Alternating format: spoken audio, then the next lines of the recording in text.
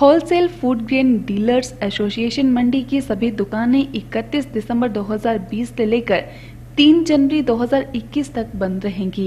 ये जानकारी wholesale food grain dealers association Mandi के अध्यक्ष हरमीत सिंह बिट्टू ने दी। आपको बता दें कि wholesale food grain dealers association ने अपनी वार्षिक छुट्टियों के चलते ये निर्णय लिया है। इसलिए ग्राहकों से निवेदन किया है कि अपने आवश्यक कार्य तीन जनवरी 2021 के बाद ही करवाएँ।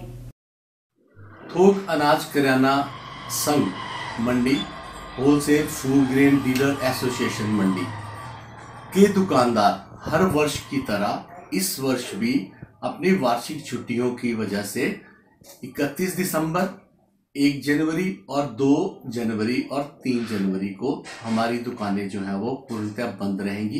किसी भी तरह का कारोबार जो है वो वर्जित रहेगा। किसी भी तरह की लोडिंग अनलोडिंग जो है वो वर्जित रहेगी। मतलब मान के चला जाए कि ये चार दिन जो है वो दुकानें पूर्णतः बंद रहेंगी।